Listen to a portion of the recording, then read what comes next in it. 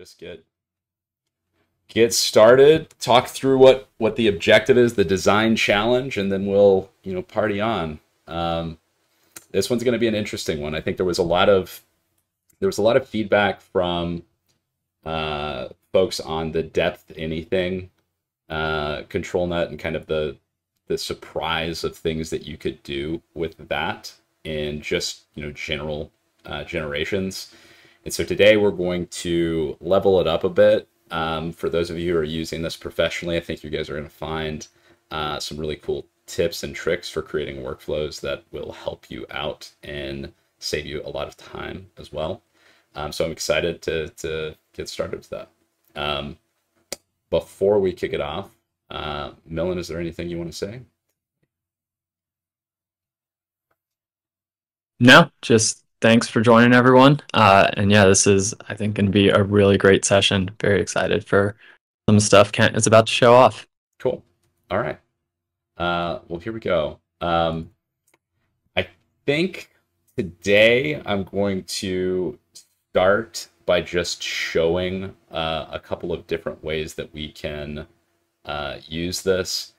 I I am going to kind of solicit some thoughts, perspectives, and opinions. I'm also going to rely on some help here to keep an eye on the chat in case any anyone's got because uh, I there's often so much chatter I can't really keep up as I'm going through this stuff. Um, but I am uh, definitely open to uh, people making suggestions, asking to see uh, certain things, and we'll just kind of run through the workflow. Um, so what what we've got pulled down here are a couple of um, open models, uh, you know, basically 3D models that people have created in Blender. And what I did with this was created a, a viewport render. I did the export of the viewport, and I had the object turned in basically two orientations, right? So I've got a um, kind of an archway here that is uh, standing up and then kind of the top down of that. And, you know, when we think about textures, materials, and kind of using 3D objects and figuring out how to use Stable Diffusion on this, one, one, you know, functionality that is key is understanding when you have an image, what can you do with that in 3D tooling? And, you know, in Blender, you have a, a number of capabilities, but the one that is really powerful here is kind of the project um, texture uh, capability, which is you can take a, a, 2D image like this, uh, throw it up over the 3D image, and then kind of have that texture uh, brushed in on on the object itself. And so if you get you know a really good um, base on it, you have the ability to really you know texture it really quickly with things like Stable Diffusion, um, and and then in a way that makes a lot of sense to that object, depending on how you prompt for it. So what today we'll, we'll kind of talk through is I'll, I'll show that workflow and I'll be looking for, uh, you know, thoughts and feedback from everybody on that as well as, as we go through like, what, what do we think this is and what style are we trying to get out of this? Um, but then we'll walk through building this into a workflow that we can easily reuse without having to go through all of the steps that I'm about to show you for executing this task. Um, so I will open it up to everybody. What, what are some textures that we can imagine being projected onto this 3D image? What would we like to see? Chat is open. And if I have to come up with it myself, I will. Got a lot of ideas up in this old noggin of mine. Oh, you know what? I do have to share my screen first, so that that would be uh, would be important. Would be important. Let's do that. Let's do that. Can we all see this? That'll help. That'll help. Um, so we've got this kind of 3D image of an arch, uh, and we've got two different orientations. Okay, rocks and moss. Okay, now, mossy stone is, seems to be the consensus of the uh, the group here. Okay, so first what I'm going to do is I'm going to add a control net, obviously, and I'm going to have that be a depth control net. Uh, we'll take a look at what we get out of this. All right, cool. It looks pretty good. Um, you do have some options here as well, depending on you know how much time you want to wait around for the depth image. Most of the time, the depth anything small model is pretty good. I mean, it, it does a really good job. Um, but you can also increase the image resolution. Um, and that what that's doing is it's outputting a larger image. And so there may be some more detail in that. You can also increase that to a larger model if you have enough VRAM. I would say most people do. Um, and what can, that can do is just produce a higher fidelity uh, depth control. And sometimes that's useful, sometimes it's not needed. And so you don't really need that level of like uh, additional granularity. That's why it defaults to small because it's super efficient. Um, but I think in this case, this depth model looks really good. Uh, and so we'll leave it there and close that back down. Now, the other thing that I'm going to do in this case is I'm actually going to go to my image to image tab and set this as the initial image. And so what we're doing here is we're setting our initial color uh, in this kind of the, the regions of this image. And we're going to probably use a really high denoising strength. Um, I'm going to start out at 0.95. And this is so high as to beg the question why are we even using image to image at all right so it's you're almost ignoring all of the color and content of that image and the answer is because we we want to ignore most of the color information but what we're doing here with image to image is we're actually feeding in and, and shaping the noise that this process is going to be uh, run on and augmenting it so that things are a little bit darker around our kind of structure here to give kind of that background look. And all of the regions that are light in this kind of Blender export, they are going to be where the subject is presented. And we have a high enough denoising strength that it's going to kind of ignore all the color there. It's got a lot of denoising steps to run through and create more content. Um, and so we're kind of using both image to image and control net to really hone in on we're keeping the structure the same. We're augmenting it so that there's more of the background and we kind of have some control over the the area that there's content. And we're also giving enough, uh, you know, um, we're not giving enough de- denoising steps to get to a resulting image that matches our prompt. So now we have to figure out how we're going to prompt this. And, uh, you know, I would say normally I've got like, you know, a little uh, list of prompt words that, you know, make sense for the, the task at hand. Um, but in this case, we're going to kind of work together to come up with something that works for this pipeline. And, and I think it's important to go through this process and demonstrate that it's not just like, ah, oh, you know, perfect every single time the moment we come up with something. Because what you're typically doing in a professional context using these tools is you're figuring out what what is something that I can do repeatedly without having to think about it every single time to get this type of process done. And so you kind of iron out that workflow and that's when you take it and move it into the workflows tab. When you take kind of the experimentation that you've done and you create something that you can really easily pull back in and automate. Um, so I, I do see one question coming in on uh, clarifying the process for using an image in ControlNet that is not the same size as your generation image size. So I'm going to ask for some clarification on that question.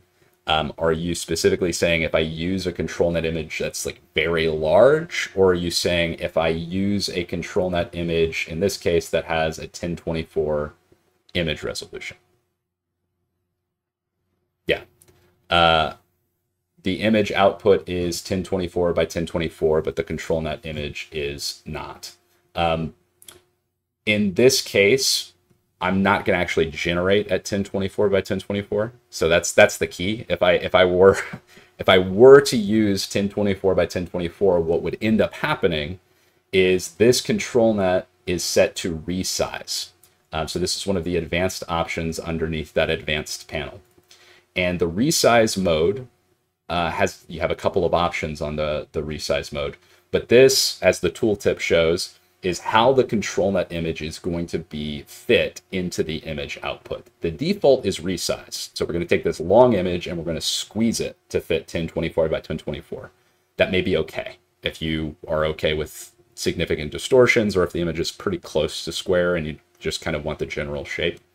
Uh, if you were to not want that, you would need to change that to something like crop or fill. Now, I will say if you choose crop or fill, uh, you don't really have as much control over which part of the image it's cropping to. That's one of the feature enhancements that is on the list of uh, things that we'd lo- love to add at some point is ability to kind of select that um, region of the, the crop. But as of right now, you've got crop fill, and you know really those are going to be centered and it's just going to kind of crop everything out or fill the image to fit the size of if that's um, if it's smaller for example than um, than what you have selected. Typically if you're if you're not intending to do the whole image as a control I, I think the best way to control that right now is to just you know make sure that you're resizing and cropping that image outside of invoke before you pull it in so that you can actually like get that fit to the right size that you um, that you want. Um, for now though we are going to do resize but now, now we actually have to get our output to match the aspect ratio of uh, our image. Now this is where things get you know fun because our input image here is a 1920 by 1080 you know i took this on a big screen. And so now i'm going to be generating using a 1920 by 1080 uh, aspect ratio. So I, I essentially just want to match that aspect ratio. And, and there's a couple of ways that you can do that. Um, the way that you know typically you'd do that is just locking the aspect ratio and then kind of moving that around. I'll show you kind of one trick that that you can do if you ever get into like the mechanics of I, I'm trying to get somewhere close to this, but I need to to fiddle around you know, you can manually go up to something like that. So in this case, I'll go 1920 by 1088. I'll lock that. And then I'm just going to bring that down, right? Because again, we don't want to necessarily generate at that large size with the model that wasn't trained on it. We want to pull that back down to something like, you know, around the XL model in this case, or if you're using SD 1.5, you're going to want to bring that down even further so, so that it's around that kind of like 500 to 700 pixel on each dimension uh, size. That just makes sure that the image generation process doesn't go crazy and kind of lose its mind. Um, the models are trained very, very much on these specific size images. And so if you go above the, the training size, what you typically get, if you haven't already seen this, you're lucky, but you get like multiple heads and arms. It's just, it's a nightmare um, a truly, truly uh, terrible, terrible nightmare. Um, and we don't want that. So we're going to focus on generating at the right size for the model. So in this case, we've got our size set. Uh, we've got our model, our control adapter set. We're all good there. Um, if I if I wanted to, we could throw in like an IP adapter and have that do the texturing for us. That might be a fun idea. I just literally had it though, so I don't have any textures. Maybe we'll try that idea later. Um, so for now, we got to come up with a prompt for this. So I'm going to do a, we'll try, you know, 3D Unreal Engine render. This Unreal Engine is obviously the best engine. It looks the best. Um, and we are going to have I'll put in the term diffuse map just because I think that typically um, helps map it to kind of like the, the 3D uh, rendering space. And we'll go with um, moss and stone, archway, uh, depth, dynamic lighting. Um, and you know what? We're just going to see what we get. And if we need to iterate from there, we'll, we'll take it one step at a time. We don't want to get too crazy here trying to perfect the prompt. And we don't know that we need to do any more than what we've already done. I'm going to check one more time to make sure I've got everything squared away. It all looks good to me. So we're going to send that one off. Um, and here we are generating our image. Uh, may not have had the model loaded, so we will wait a second for the model to get loaded in and we'll get started. Um, I'll keep an eye on uh, some questions here so I don't forget. Uh, so the fill would work better for example, if you had a picture frame and wanted to fill the contents of it with control net or frame. Um, no, I don't think so. I don't think that's what you're asking. Uh, fill is going to be something like if you take a small image and try to make it your desktop background, right? You can kind of like fill the space with the image. Um, so it's it's imperfect. Okay, this one's interesting. Uh, so we definitely got the shape of our archway. I would argue that there's a little bit of extra background stuff there that might be uh, a little bit annoying. Although if you took this into Blender and projected it, it would work fine, right? Because all of it's in the right spot. So this isn't necessarily bad. And if we look at, um, let's just open this in a new tab. If we look at this, I think there's some pretty good stuff on this. Like I, don't hate the texture on this at all. It's more more so just like there's some extra stuff in the background. Don't think it would really get in the way of of using this in Blender, but you know maybe we want to clean that up.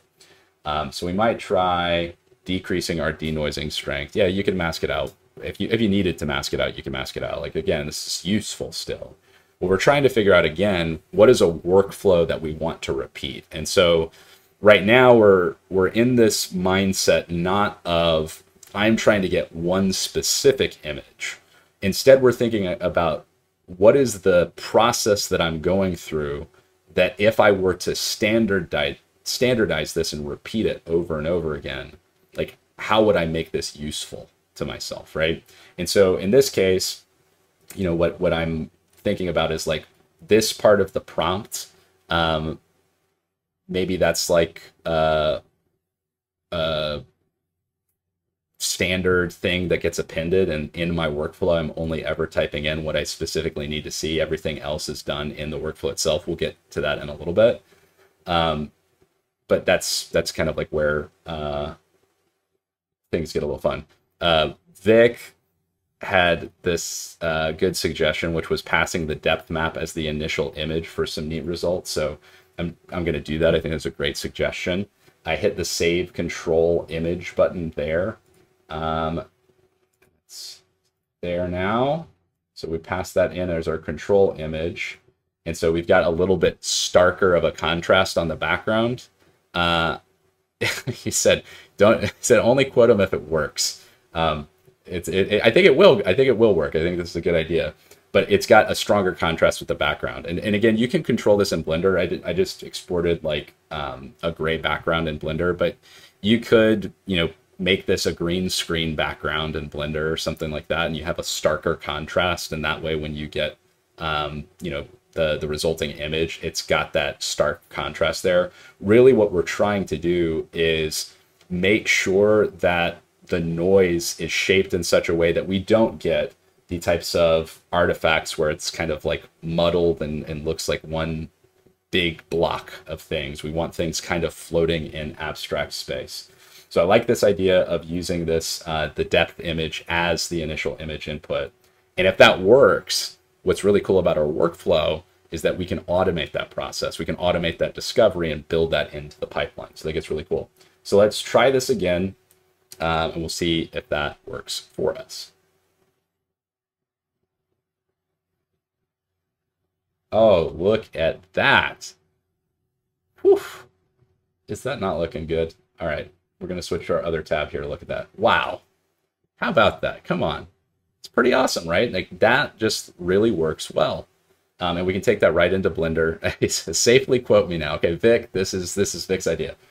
This is really, really clean, right? And now we have um, some things that we can build off of. And I think, you know, I was, I was talking to somebody earlier today and I think they they had this realization because they're deploying this on the team, and they said something to the effect of, um, "This is a tool in the artist's toolkit, right? This isn't the the thing that replaces the artist. It's the, the tool in their toolkit that helps with the process. This is probably not going to ship, right? This this asset as is needs a little bit of work. It's going to have to go in. You're going to have to touch it up to make it kind of higher quality but this is a really good start, right? This is a really, really good place to work with. And again, you're kind of going to want to make sure that the the thing you're pulling out of Blender is really um, you know shaped in the right way so you can project everything that you you need to and you don't have like a lot of empty gaps. But this is like a good just mental model for how you can project new content using stable diffusion and then pass that over into tools like blender. So uh, we've got one down and we like this workflow but we want to test it now on a different asset. And so we're going to take a character now. We're going to pass that in to our SDXL depth control adapter and we'll save that control image. Where, yeah, I see you up there. Come through. There we go. All right, so we've got this guy. Um, we'll pull him over. Now that we're kind of repeating this workflow here. Uh, we're going to leave everything else there. And what, now that we've got our mossy stone archway, what kind of individual here are we creating? What, what is the description of our character? Um, and yes, the question was, uh, you'd pull that into Blender and project the image onto 3, 3D model. Yes, that is what would help you get that kind of like base texture, and it, it will just kind of like fit right over the the image because we've controlled it with the depth uh, control net. So it's going to kind of like mesh itself into that 3D uh, object. Okay, so we've got a a librarian, uh, historian. I wonder what kind of character we're uh, thinking of here. Um, so we've got a uh, adventurous librarian. Uh, trying to think of some other. He's got a leather jacket, uh, denim jeans, and uh, see, are we going to get somebody that looks good with this? Uh, he might be looking kind of CGI with this prompt. Um, we'll go with a. I'm going to try an idea here. I'm going to try an idea here. Ink and watercolor style. Okay, this is it's maybe a little bit um, maybe a little strange, but I'm like, I'm trying to like get a certain look that maybe isn't just typical 3D rendering. I want kind of one of those stylized looks. Typically, if you're doing this in Blender, what you would do is is kind of create shaders and stuff like that that give you all of these effects. Um, if you haven't seen kind of like the how-tos um, or how it was made for uh, the most recent Spider-Man movie, they've done some really just magnificent work with shaders to create a lot of cool effects. Um, and that's kind of like how they get that style. But this is a good kind of way to push push our, our texture into a specific direction. So we'll see what we get.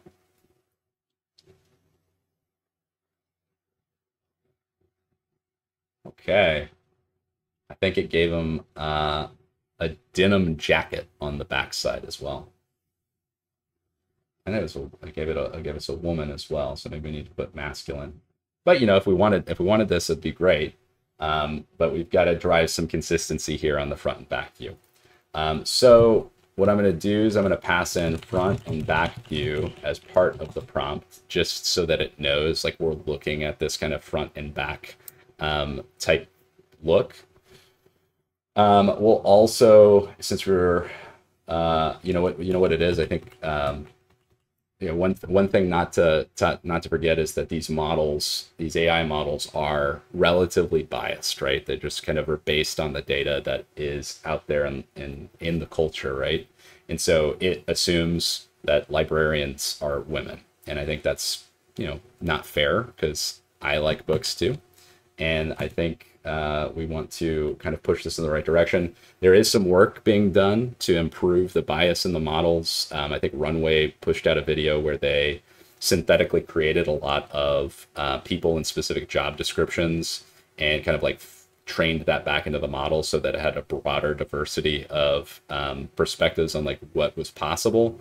But another way that you can do this as an artist, I mean, I, I think ultimately the artist is always the one responsible for what's coming out of these models and making sure that we've got, you know, what we want to see. Let's put masculine in there so we kind of are pushing that um, in a certain direction. We'll do masculine man. And we'll give this another shot. and see if we can get that consistency on the front and the back of our jacket. Um, while that's generating, Vic had another neat tip around how colors affect noise.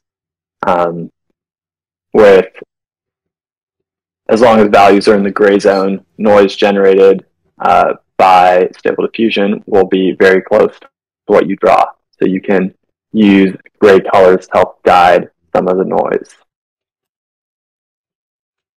Right, so our front and back views kind of pushing us into only back views now, and we're trying to really get this to do both. Let's take a look at upping this to lar the large depth anything model. Um, so we can really see if we can get some of that detail on like the face area. But what we might also consider doing is maybe soft edge, adding in a second control net to really make sure that we're able to capture some of the details uh, of our render. And this is all good information for us as we think about uh, the process because we want this to be repeatable. We want this to be as consistent as possible when we recreate this in our workflow. Um, I actually think I like the I like the base one better. And I think we're going to go with that. Um, so what we'll do is we'll add another control net and we'll do maybe our soft edge. Could do canny as well, but um, let's go back to our base asset here.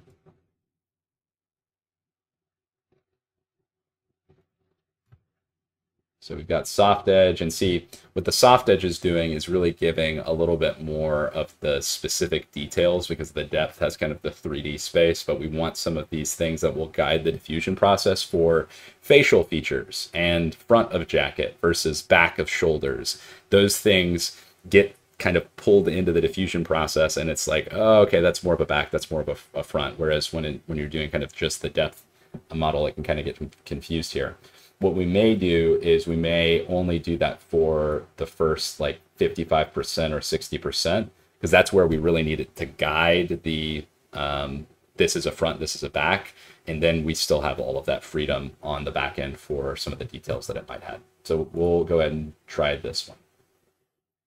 Do you touch on how you decide on what that first control net you're going to start using is? Whether that's like a depth or canny how do you normally decide which one you're going to go for first? I yeah, I mean, I think in in the context of the use case, we're we're asking ourselves what type of control do we need with Blender, for example. We very much want. Man, we still we still are struggling here. Um, we very much want depth in space, um, so we're looking for uh, control around that 3D object man, this this hideous. It's like created the back of his head, but it's uh, using the, the control on the front. Um, let's let's give this another shot, uh, and I'll I'll kind of continue to talk while while we're doing that. Um, so in this case, we we know we need the depth as a base. Um, what we are adding into that is like what additional details do we need to like augment the control to really get the the things that we're looking for. So typically, if you're doing a sketch you're going to start with something like canny or soft edge, depending on like how much um, control you want to specifically give it. And you're really focusing on 2D because uh, you're making like an image and you're just kind of like trying to have the the bounds of that structure uh, controlled with with control net. With depth, a you need an input that has really clear depth information in it right you need an input that it can tell in 3d space where things are and that's somewhat harder with a sketch although you can get it if you do enough shading and kind of really focus on that. Um, so it, it really is kind of like what what data do we have to work with and what is the output we're trying to get? That helps inform uh, what we're doing there. You can obviously also do an open pose if you have uh, either good pose data or you go create some in like a, an open pose editor of some sort and those can help with things like this although even then it's not it's not perfect um, so let's try switching to canny here and see if we can get this to um, pick up on these lines So it is really, it's really struggling on this. And it might be the prompt. I might need to, um, might need to help give it some guidance on the prompt. One thing that SDXL is lacking is a good embedding for this type of, um, oh, there we go. We got it. We got there eventually. We got there. It's all an iterative process, right? It is, it is, and that's kind of part of the part of the thing. So now we've got like our adventurous librarian. We've got like him in 3D. We can take this out into Blender and we can use that as a projection, right? And we can kind of get a lot of that uh, starter texture for that thing. Um, so we'll we'll call that a win, and and focus on building out the workflow now because that is going to take a little bit of time. Um, so I'll go ahead and make sure that I keep an eye on questions as they come in. But we're going to take down some notes on this tab, right? Um, we are we've got our prompts, we've got our um, settings, we've got controls that we need to keep an eye on. We're using image to image. Like we're, we're noting all of the things that we're going to need to go recreate in our workflow editor. Uh, so let's go ahead and do a new workflow. And we are going to start from scratch. I'm just going to get the whole thing from scratch. Uh, typically, what I'd recommend doing is opening up the library and uh, using one of the default workflows as a starting point, just so that you don't have to do it all uh, from scratch. Uh, and maybe that's probably what I should do. I, you know, I think the idea of going through it uh, step by step is is exciting, but maybe what we'll we'll do is just focus that on that in a getting started video for the basics on workflows, and we'll show how things can um, be connected when you're getting started from the very very very beginning. But for now, let's just use one of the default workflows. So I'll do a default SDXL text to image uh, and in our default prompt, we got super cute tiger cub because what who wouldn't want a picture of that? We'll take all that stuff out. Um, we're also going to delete all of the linear view um, boxes because we're going to manually control those. And we're going to augment this um, the way we need it to work. So first thing I'll just add is our models. Um, we'll get those set in. And then we need to figure out what we need to add. So we need to add control nets. Uh, so I'm going to start reorganizing some things. Now, when you get into the workflow tab, um, it is it is like a, a place to get work done, and you very much want to understand, just like on the unified canvas, it's really helpful to understand all of the tools that are available to you, right? So if you are using the unified canvas and you're not using the hotkeys, you're doing it wrong because the hotkeys will save you a ton of time. If you're in the workflow system, you want to make sure that you understand how to manipulate like things in groups and use a lot of the stuff here. So we'll touch on a couple of quick kind of tips and tricks for the workflows, and then we'll get started breaking this down. So anytime I want to select multiple nodes at the same time, I'm holding down shift and I'm dragging to select multiple nodes. That allows me to select them in a group, and then I can kind of move them around together. Connections don't break. The spaghetti follows me wherever I go. Uh, and then I can kind of like separate things out so that I can use them. If I want to copy multiple selected nodes, I can do Control C and then Control V, and it will create a new group with those. So this is a really good way of duplicating parts of the uh, workflow when you're doing repetitive steps. Uh, you can delete, hit the delete key to delete those. Now, when I'm adding new nodes, you can go through and hit the space bar and type in the name of the node you want to add, or you can drag anything that you need an input for. And actually, let me do this. Let's do the control one here. You can drag that out and it will show you the possible options that you can add for that input. So in this case, I'm bringing out control. It's brought three options that work and are valid for that input. I'm going to do a collect because I need to have multiple uh, control nets uh, applied. And now we'll just kind of go through the process of creating our uh, control nets. So we'll do control nets and I'll copy and paste that because we're going to do two control nets here. And then we are going to pull out our processor. We need a depth anything processor base 1024.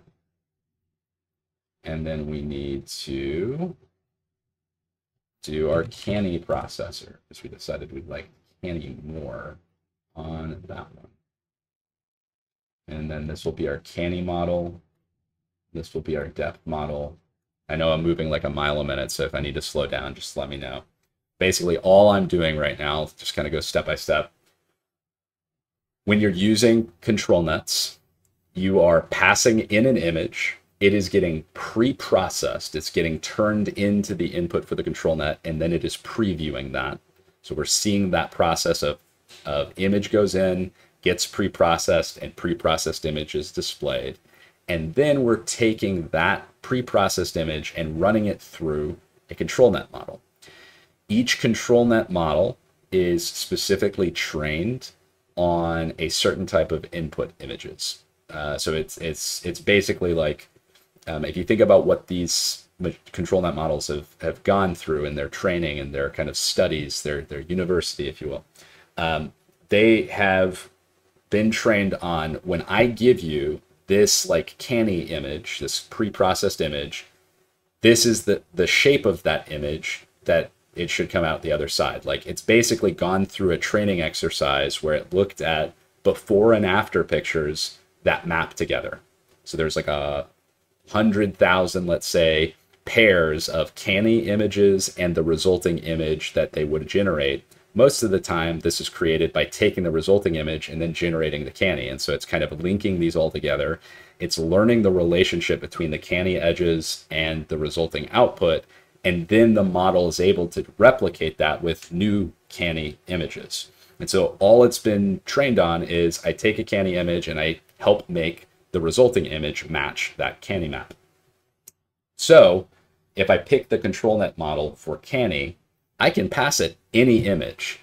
But if it's not a canny map, it's not going to know what to do with it, and it's just going to kind of fumble around. But if I pass it a canny map, it knows what to do.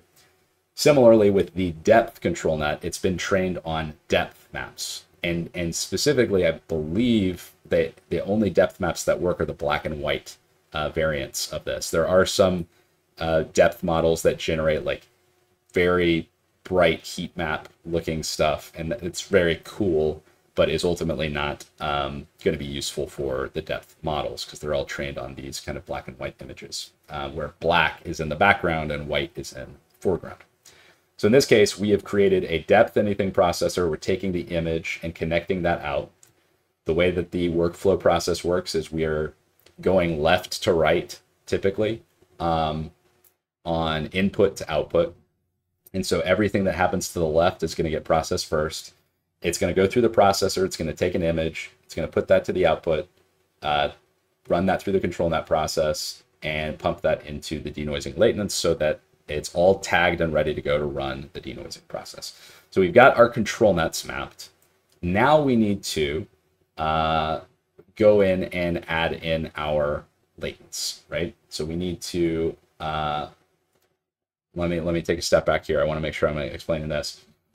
For image to image, what's happening is your image, your initial image, is getting turned into latents. And then noise is added in on top of that for the denoising process. What that means is we need to make sure that the image and the noise are the same size.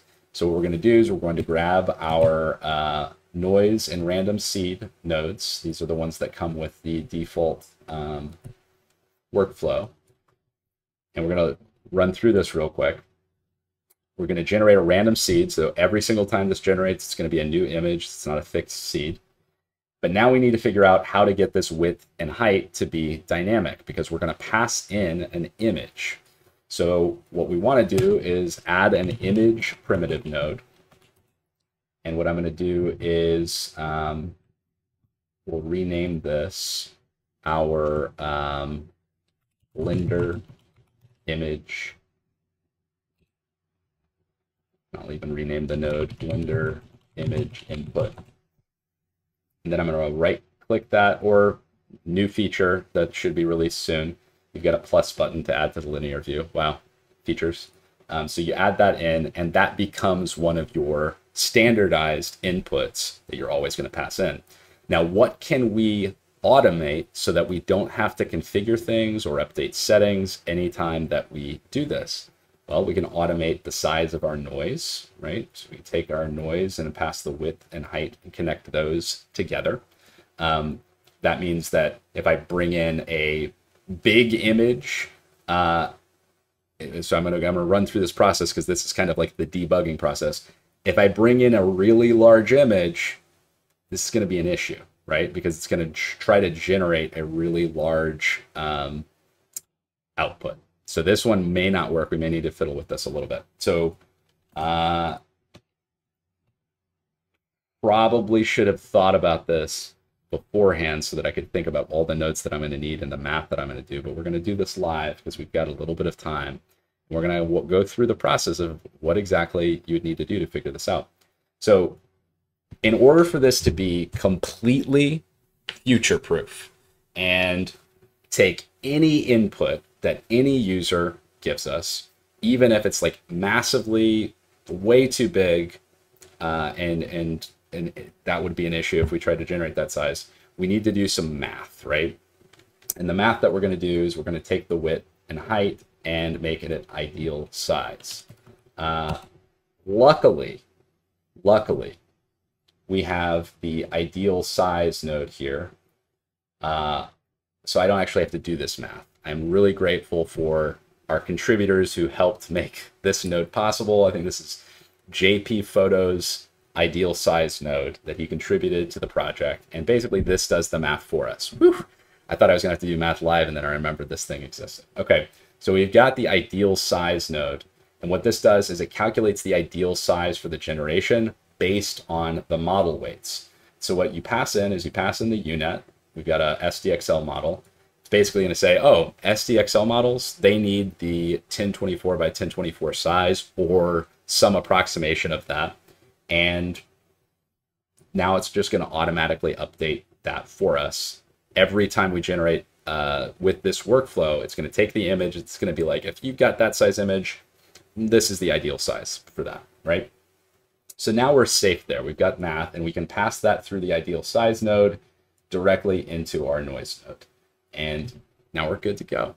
Um, so now we've got our prompts, our model our noise, we need to get our latents. And the latents are the, uh, these are the mathematical, like mathematical representations of your image so that the model can take those in. So what that means is we need to turn our image input into latents. Uh, so we're going to do image to latents. This uses the VAE to convert our image into latents so that we can then pass that into the denoising process. Uh, so we'll turn pass that through and now we've got the latents. So now we're doing an image to image generation with this uh, workflow. And now we need to make sure that this image also gets passed in to our depth anything processor. Now, what I'm recognizing though is what we learned in our workflows that we actually don't want this image to be our latents, right? Um, we don't want that because the we, we decided we didn't like uh, we, we we wanted the actual depth anything processor to serve as our as our latents image. So what we're going to do is connect these down to our processors. So we've got um, our depth anything and canny processor down here that we need in image inputs for. So that's going to go down there. Uh, maybe we can even bring our um, noise nodes down to join the party in this. And what we're going to do is once we've done our depth anything process, we're going to take this image and we will pull that up to this image to latents node. So this is going to control our latents. Uh, where do I want that to live? I like to I like to organize things so that it's a little bit clean in my my mind, but I recognize things have just kind of gotten all shifted around. Um, so what I'm going to do is I'm going to put this all down here. We'll put our image to latents right here. And so this is kind of like all the image stuff and junk. We've got our prompt box and our um, model stuff here, and then we've got the denoising process on the back end. Uh, we'll want to go through and tweak some stuff in here. Well, actually, all of that's pretty fine. I'll just leave that as is. But we do need to expose a couple of things to make this useful for us. So uh, we probably want our prompts. Uh, we use the button. Just my right clicks. Give me some some fits here. Um, do I want the model? Maybe. I, I personally, if I were making this for myself, um, I usually just kind of have one model per purpose. Like if it's for a specific purpose, I know the model that I'm going to use. Um, if I were to add a LoRa to this, effectively what you'd want to do is before this hits the denoising latents node, you'd have a which you would need to pass in all of these like other things. And basically what a does is the LoRa is taking the model and if you watch the recent getting started video on models and concepts, it explains this this kind of concept of what a is. But it's kind of like a a layer that sits on top of the model and gets patched in. It's turning all of the weights, which are just kind of the mathematical representation of different words and stuff inside of the model. It's layering in an extra set of uh, concepts inside of the model. And so when you're using a workflow and, and kind of going through this process uh, to, to utilize it, you take the model, you pass it through the LoRa node, and the LoRa node's responsible for layering that in, and it outputs an entirely new full set of model weights that has the new stuff patched in. If you have multiple LoRa's, you basically just need to kind of treat this like a factory line. It goes through LoRa 1, outputs itself into LoRa 2, outputs itself into the you know, denoise latents node, and that's where it goes off and does all, all the magic. Now, when you do use a LoRa, you're going to want to make sure that you pass that into your prompt fields as well, because um, it, it outputs the clips, uh, which are the, the text encoders. Um, so I won't do that now just because there's going to be a lot of fiddling. But we'll go through and um, actually finish out this workflow and give it a go um, with one of our inputs. Um, so we are going to, what I want to do is do a string join. And I'm actually going to take this positive prompt away. I'll say this is the concatenated prompt. And this is going to be my positive prompt. And I will have a controlled 3D texturing style. Uh, and this is where we'll just copy out that kind of um, depth dynamic lighting, lighting piece and bake that directly into the workflow so that every time I use this, it's passing that in. Then all I really need to do is have my positive prompt here be what is the Blender object that I've passed in or the, the kind of texture that I want on top of that. Um, and I'll just keep our negative prompt unexposed. It's pretty basic as well. Um, although we could expose that just to make that easier for folks. Um, anything I'm forgetting? I don't think so. I think this thing's pretty good to go. Let's double check. Blender image is missing an input. That's the only reason I can't start. So I just need to put an image. Um, so we'll go ahead and save this workflow as uh, Blender image processing. And now we're saved and we're ready to kick this thing off. Uh, so I'm going to take my assets. I'm going to pass in the stone arch. Um, we've already got the depth, dynamic lighting, diffuse map, 3D Unreal Engine render. It is already taking the depth anything. So we go back to our workflow and we um, remix this guy so we can see all the settings. Um, it's there. We, I think, have everything that we need. Oh, it's good that I went back to check on this. the denoising strength that we landed on was 0.9, and we need to have that highlighted in here as well. Uh, so we need the denoising start here to be 0.1. Uh, so you can think of denoising strength as kind of the part of the process that you are skipping. It's the the inverse of um, I don't want to confuse people here, so I'm going to try to figure out how to like say this the simplest way. A denoising strength of 0.9 means you're starting at the 10% line of the denoising process and finishing that out. So that's that's kind of like 90% of the strength of denoising is starting a little bit later. If you wanted point uh, a 30% denoising strength, we would change the denoising start to 0.7. We're starting later and later in the process, which means there's less noise added into the image and there's more of the original image left. In this case, we, we landed at 0.9, so we're going to continue using that.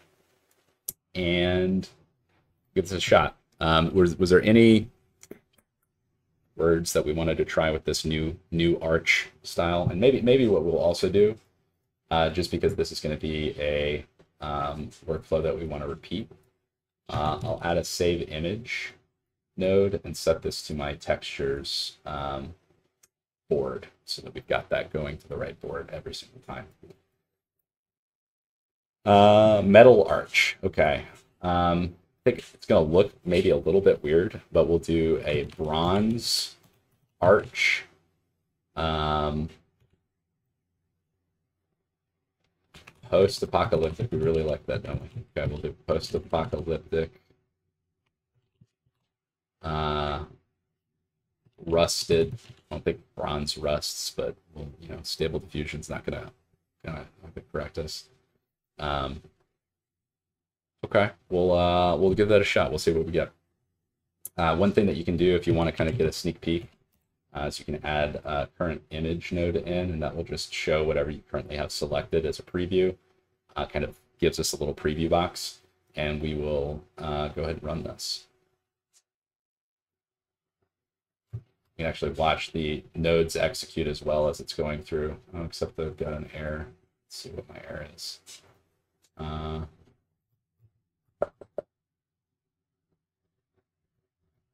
noise and latent shape are not the same size. Okay. So something. Aha. Okay. I got this. We got to make our depth. We had to do the resizing for our depth anything processor, right? Because we we created that um, that output, but we now need to make sure that it maps to our noise. Uh, so we are going to take the image here that comes out of the depth anything process, and we are going to run it through uh, a resizing.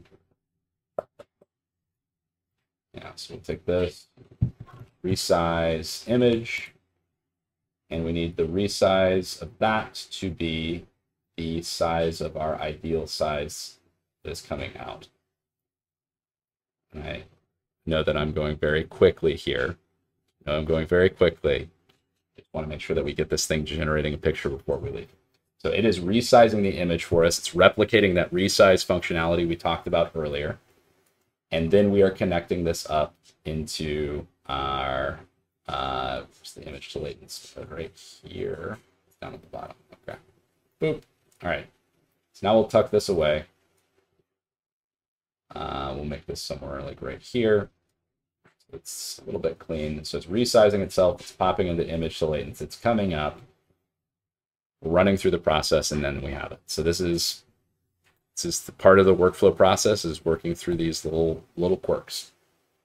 Uh, so now we're effectively going through the denoising process. It is uh, generating our bronze arch po post-apocalyptic rusted uh, texture. And I'm going to see that output here momentarily. Wow, look, it looks like a piece of bronze. It looks like a piece of metal. Um, I don't think that I would use this because I don't think it's like, it doesn't look like an arch, but it is metal. It's like a metal it's shaped like metal. Looks like a uh, maybe a bronze cast of what an arch might look like to it.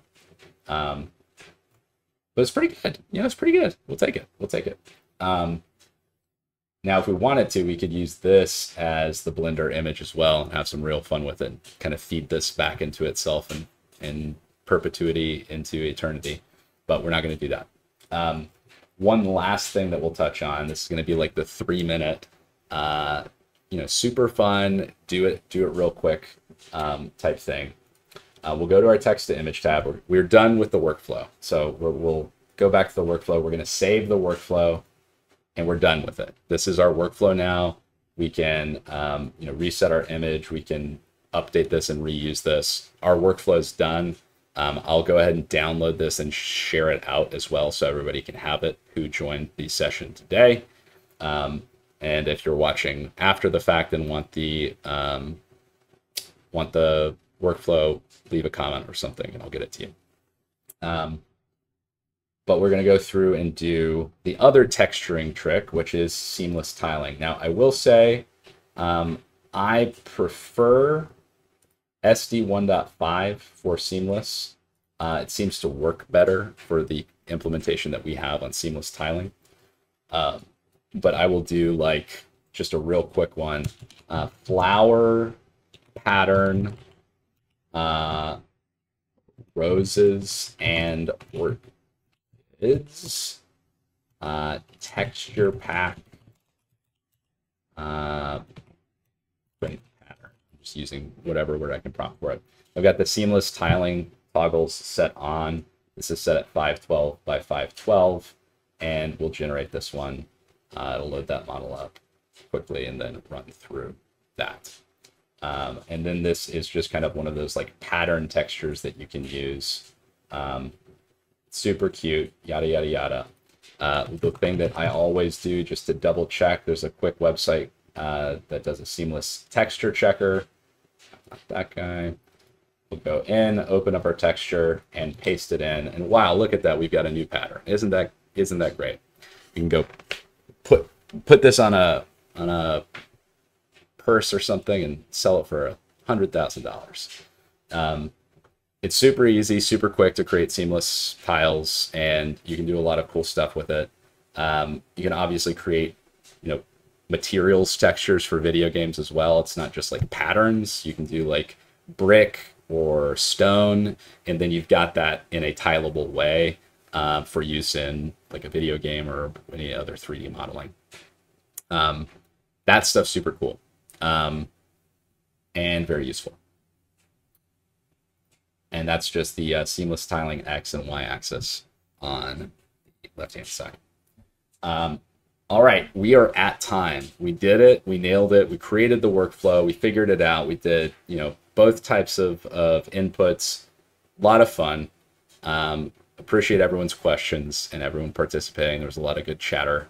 Um, I will drop the workflow in um, momentarily so that you can have that. And yeah, thanks for joining.